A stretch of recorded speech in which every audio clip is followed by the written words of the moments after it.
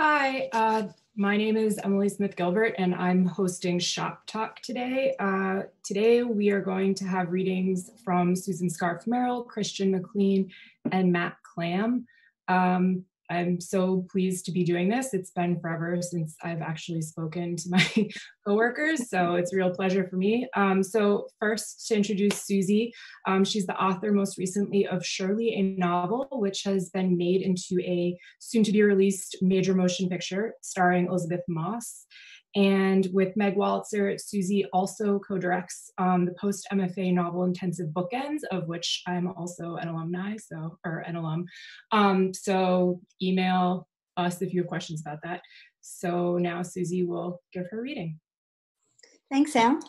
It's very nice to be here. Uh, there's a um, there's a, a nubbin of true story in the in this uh, thing that I'm about to read, which is the full second chapter of my novel in progress, but only two pages long, so that's okay.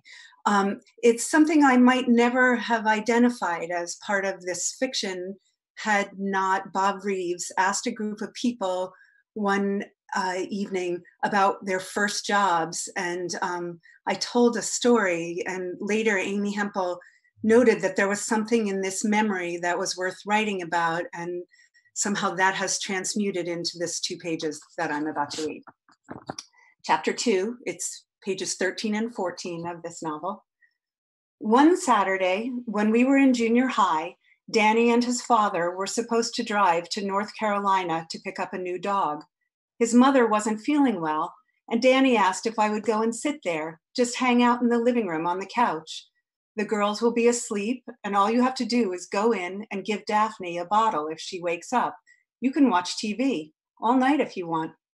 His father called and asked my mother, and so that's what I did. I remember watching TV.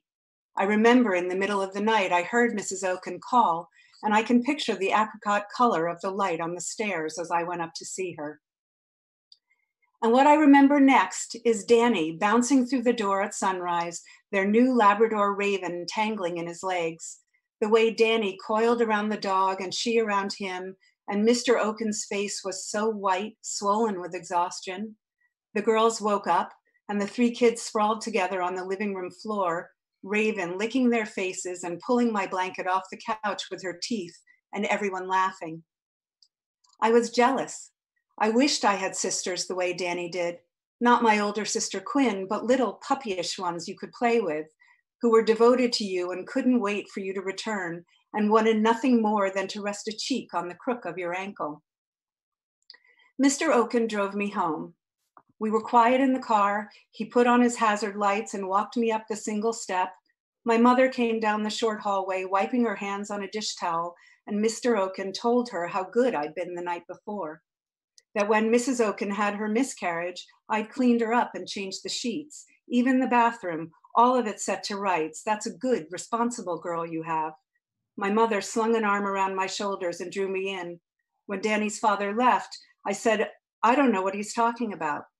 My mother sat with me on the couch, our mended socks lined up on the brown wall to wall carpet that made the place seem even smaller than it was, our hands clasped in my mother's lap.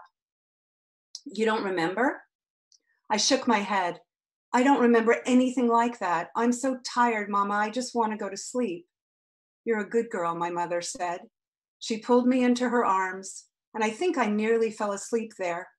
Later, when my father came home, she told him I was resting under a blanket as if I were sick, and he sat against the pink kirtle of the wool, his thigh against my arm.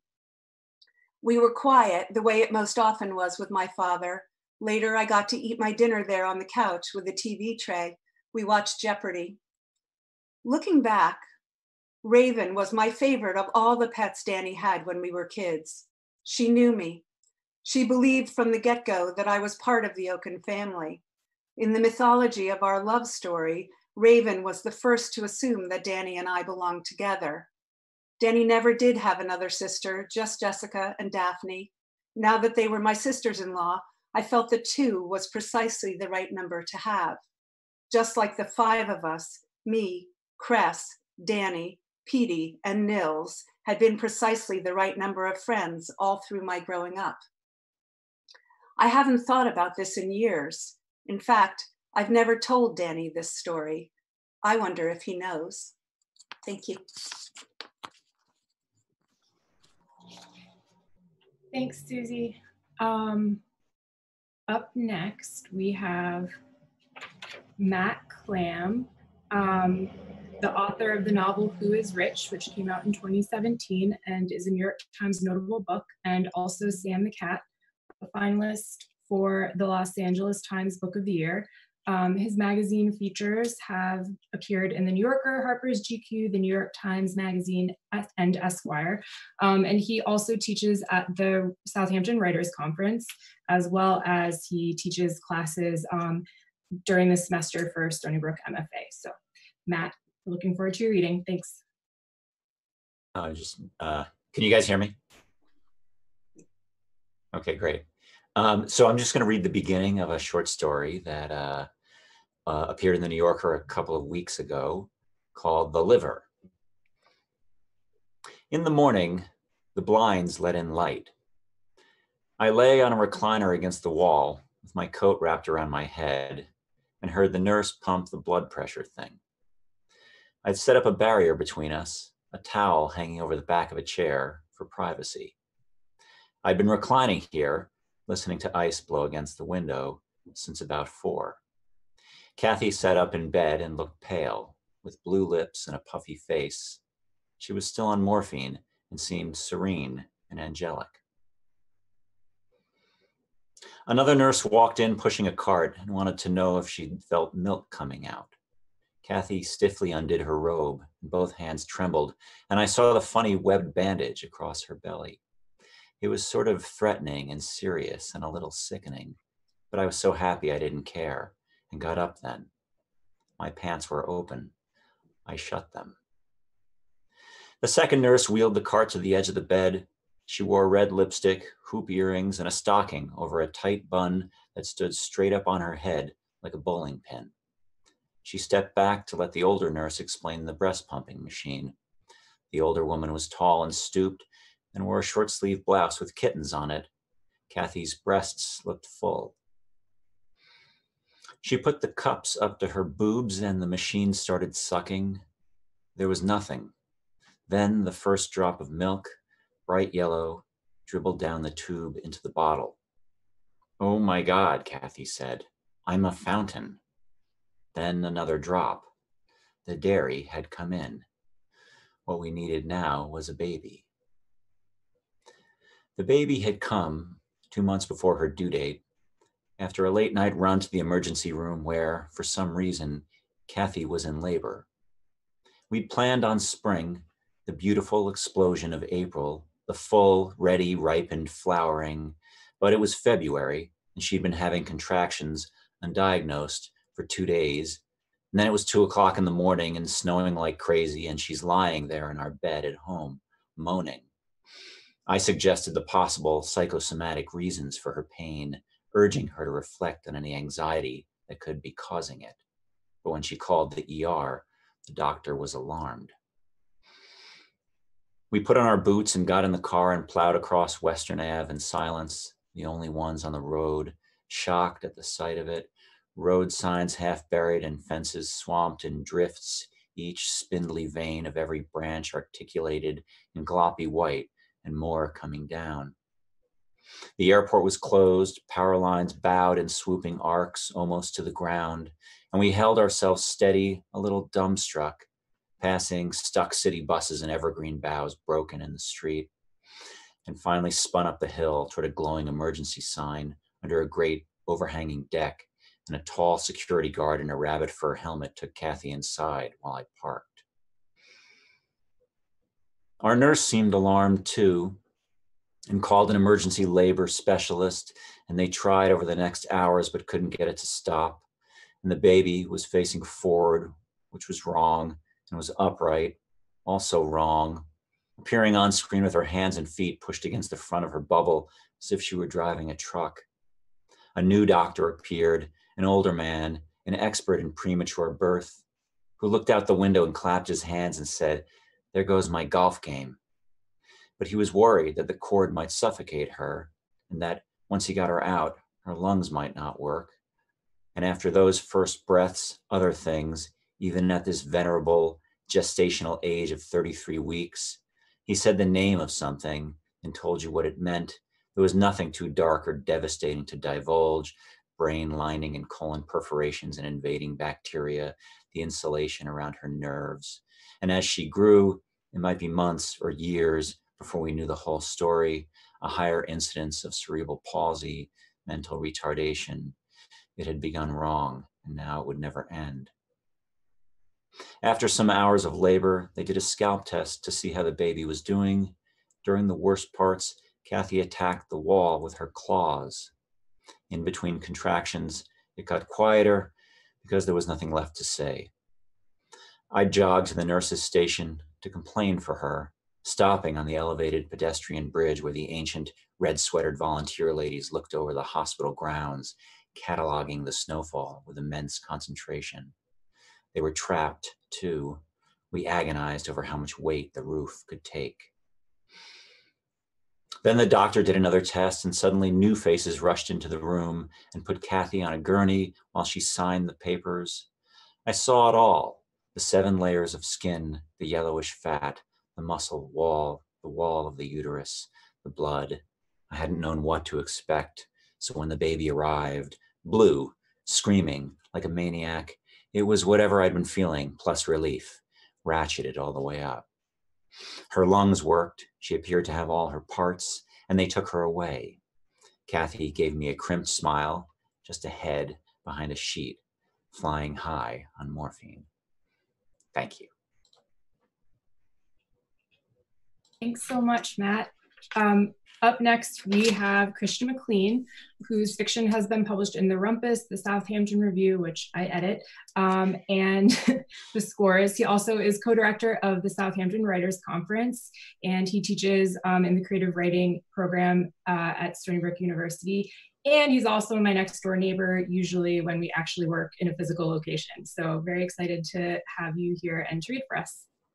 Thank you for having me. This is a lot of fun, actually and touching base with everyone. Um, this is a short story that I'm, I'm still working on, um, and it doesn't have a title yet, but uh, uh, it goes like this. They had ordered the mausoleum from China three months in advance. It was still in a container over the Pacific when Mark died. His father had told them this was going to happen. Can't trust China. He'd been in the Korean War. He had seen something they hadn't. They, who bought everything off the internet, didn't understand why he wouldn't want to buy a mausoleum from it too. Dad, everything's made in China, Mark said. They even have marble like Carrara. When Karen called the website, when they realized how quickly Mark's illness had progressed, customer service said the shipment would arrive in a day or two, a week at most. They emailed a new tracking number. Karen refreshed the shipping website like she was giving CPR.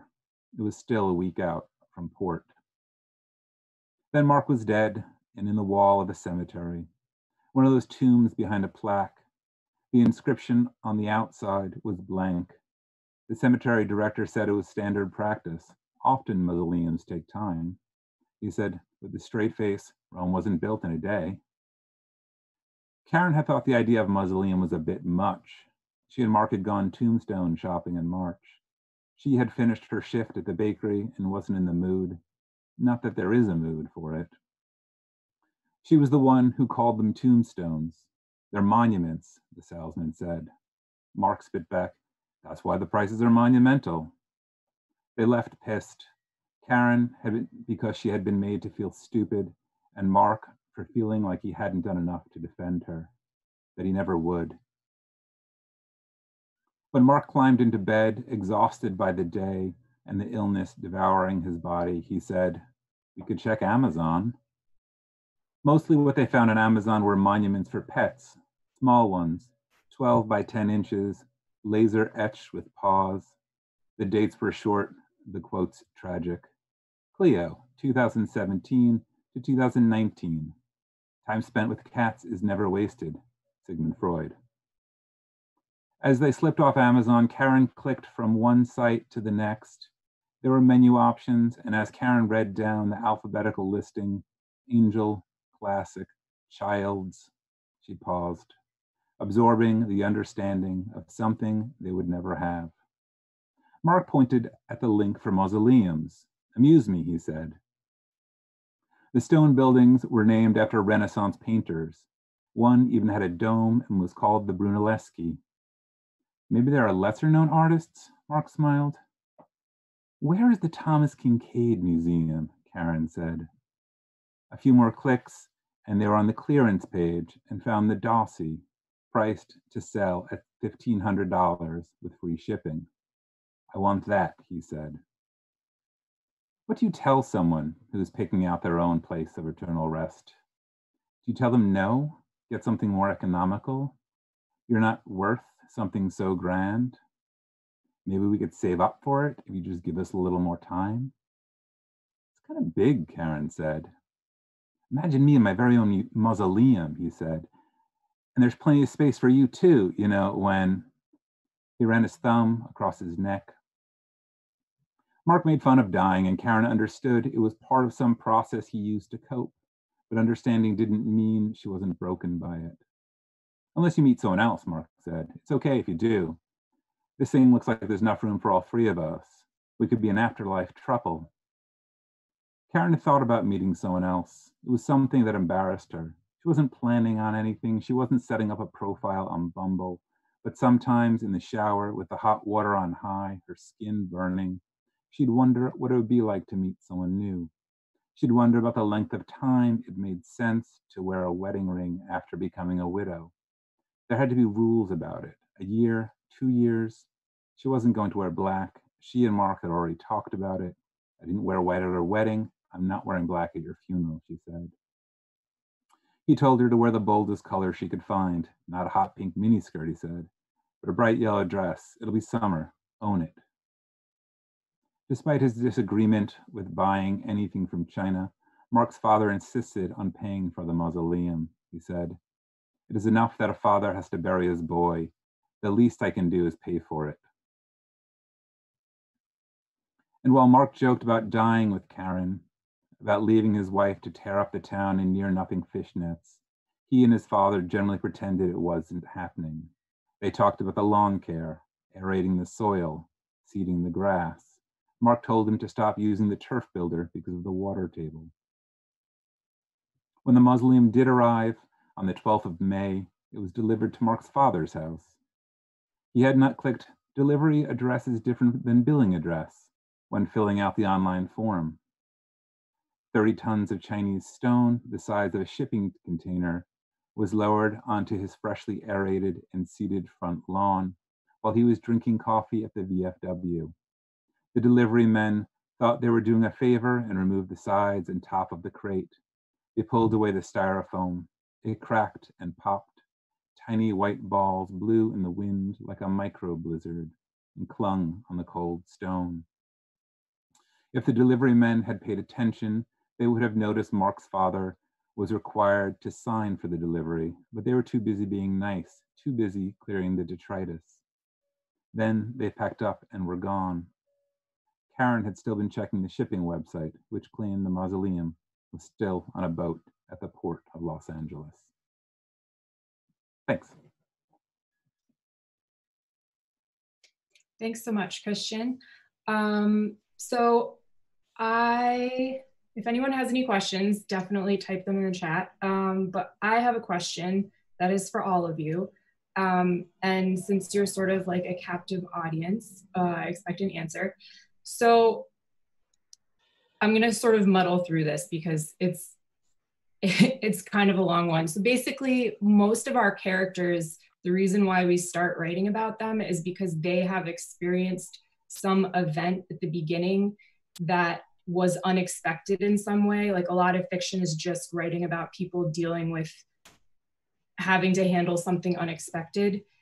And that is the situation in which the entire world finds itself in. Um, and so my question sort of has to do with is this changing how you're thinking about writing characters? Because it's not just an unexpected event that will alter their life, but it's something that is going to profoundly shift the world that we live in. So, is that changing how you're thinking about writing your characters and how they're dealing with what is unexpected in their lives?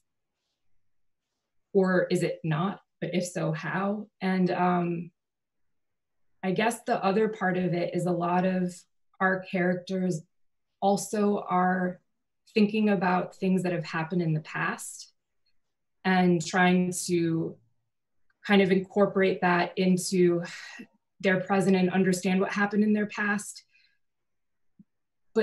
Now it's like, does it strike you as it's almost meaningless? Because whatever world that they're living in now going forward is going to be so different from whatever they were trying to figure out in their past. Like it almost doesn't apply. Does that make sense? Anyways, discuss, please. you, Susie, you're on mute, and Christian too. Looks like. Thanks, Matt. um, before you guys get started, I don't know if one person can answer these enormous questions. I'm going to just say two things. One is that this morning, for the first time, I heard jokes about how uh, high school juniors are going to be writing their how the coronavirus uh, uh, e- epidemic, um, uh, how this cha- the pandemic changed uh, their lives essays for their incoming college essays, and how admissions reps are already going to be hating to read those essays because they'll see so many of them. But I couldn't help but think that though there is uh, a lot of profundity in this experience, and that people will be finding uh, you know, like um, like uh, important material to write about. And also that a friend pointed out to me that Hemingway mentioned exactly once, and I don't know, remember where it was, the Spanish flu, meaning the Nobel Prize winning American author that came out of that period never mentioned it, basically. So uh, maybe it didn't mean That's that much. so I'm going to flip around the and essentially say the same thing as Matt because we have the same birthday. I feel I can say the same thing as Matt. But um, there's a wonderful uh, book about auditioning for actors called Audition by a guy named Michael Shurtleff. And he talks about, um, it's a very simple, wonderful book that I think I've talked about with you and before. Um, about how actors build character. And I think that one of the things that's really true for, um, for all of us is that we're always building our fictional experience from real experience and vice versa, that that interplay of what is um, what is an, uh, an experiential truth and an emotional truth is always interplaying. So to answer the first part of your question, I don't think it really changes anything. We are um, we're just incorporating a really horrible new piece of data into our imaginative processes and how that ends up um, emerging in fictionalized form is something yet to be seen. Um, so that's the answer to the, the, first part, and then I'll let Christian answer, and then we can come back to the second question. Well, it's, I mean, my thought is that there's there's a couple things. One is you can write your characters and their stories happen, you know, in 2019, right, or 2017, and, and you can sort of avoid that in a way. Um, and then the other thing is, you know, I'm working on something else, and and it takes place in two, it takes in 2009, but the character thinks about 9/11, and so like when you're thinking about these these massive moments in our lives like they they can filter through but they don't they can only they can come in just like in our lives they come in for a moment and then they sort of maybe dissipate. And while this is a huge shift for every single being in in the world in a way our character you know our characters don't have to you know once this is over our characters will have to get on with their lives in in everyday ways again. And i think that while it may come up and it will definitely change how they view things, uh, it doesn't have to sort of totally change their their story. If that makes sense. Yeah. Susie, did you have more to add? Oh, just to the second part, um, the I, I mean, I think you're, the, I think the second part of your question was essentially like, is it worth doing this if, you know, the world has gone to. Oh, I mean, yes, but I feel like that applies to so much. right. um, right. Yeah, I mean, yeah I, I, think also since we're essentially living as we like in the kind of environment we sometimes put our characters in where they just don't know what will happen next like how does that actually influence like the writing currently if you are writing i think and can you rec like what can you do how do you do it so i just so i want to say something about uh, you know the Bookends fellowship that has been having these wednesday afternoon meetings where we just kind of talk for an hour about what everybody is thinking about and at, at one point somebody said you know i'm having a lot of trouble like when my characters go to touch each other I even though my book is set in a different time period, I have like, oh, you you can't do that. And I I think in in essence, when when this period is overwhelming, and this is an overwhelming thing that's happening, but when we're um, when we're not in our actual in the actual imaginative world that we've created, I think we feel more overwhelmed by uh, by the circumstances of social distancing and um, and the horrible news in all ways and the insane um, things that are happening in the government and everything else. But when you allow yourself into the world of your own story, there's a kind of even if your story is about upset people and bad things happening, there's a kind of beautiful uh, peace there. Like you, you're in your lane and you can you can move in that world more easily. I don't know if that's a an answer that you all would agree with. I guess I would. It does feel like you're writing in a time before, unless you're specifically writing about now, which I'm not there yet. yeah. yeah.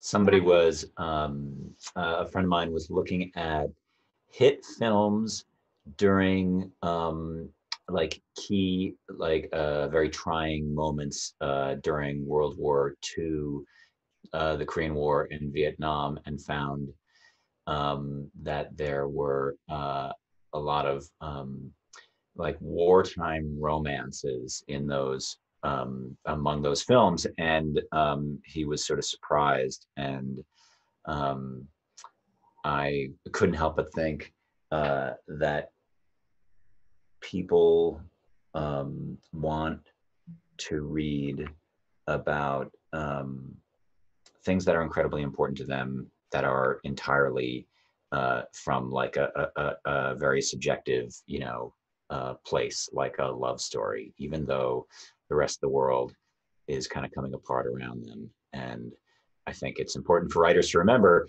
you know, writing has always been um, uh, and for me, fiction writing has always been something that I've felt a little bit uh, has this a little bit of like an adolescent quality in that I want to kind of go up to my room, slam the door, you know, turn the music on loud, the way you, know we caricature teenagers doing, but it it requires that kind of self-absorption and which is a great filter because um, if, then if you think, well, how am I supposed to address this global event? um, you know, the answer is probably a lowercase answer. It's not, um, you know, uh, as daunting when you think of it as something that's you're you're you're seeing through the, this very narrow funnel of your own perspective. Yeah, um, I think also yeah i think um, this just popped into my head which is like not necessarily a response to that comment but just i wonder if there will be much less post-apocalyptic fiction because we are all living it. And i can't be the only one to wonder about that. Um, i just wanted to read a comment um, from hollis kerman she says they say the intimacy of these stories especially in the death slash dying slash hospital scenes feels especially poignant right now that there can be so little of it at those moments, which is definitely true. Um, I think one of the hardest things is people alone in these hospitals. Um, so I think um, I'm, yeah, I think I'm just gonna close by asking each of you what you're currently reading and um, and then we'll just say goodbye because I think it's always good to get recommendations. Susie, what is that? The Baron in the Trees by Calvino, which I'm teaching tomorrow. But, oh. but I'm also really looking forward to reading this. Mm. That's great.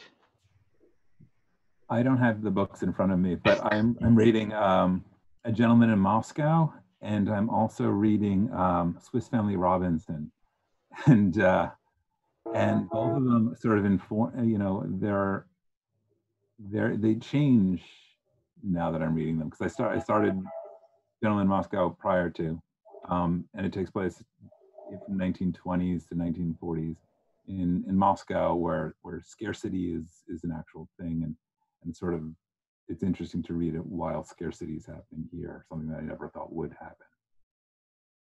You just reminded me that I promised to send you guys all a chicken from Washington D.C. Uh, so before we go, I make sure I'll get your addresses. Um, uh, I'm reading um, The Price of Salt by Patricia Highsmith, which was like her second book, I think, and it's the one that doesn't have any murder in it because it has this kind of terrific love story that they adapted into movie that came out a couple years ago. Carol. the name of the movie. Carol, yeah. Yeah, Carol.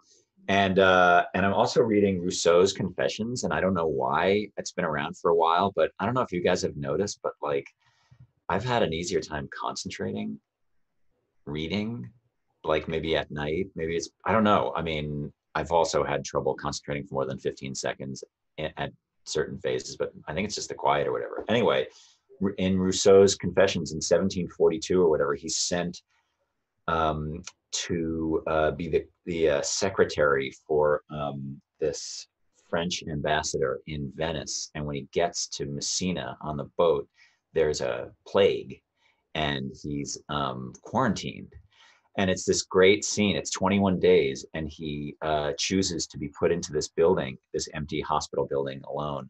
And uh, it's a, there's a really nice scene where he just is talking about how uh, much he's enjoying the quiet of the quarantine. So anyway well, great. Thank you for that. Um, thanks for everyone for tuning in to Shop Talk with Matt Klam, Susie Merrell, and Christian McLean. And there is another event coming up uh, this Wednesday, April 8th at 1 p.m. Um, there will be readings by Simeon Marsalis and Donnie Welton, and it will be hosted by Paul Harding. So hope to see you then. All right, stay safe, be well. Bye. Thank you. Thank you.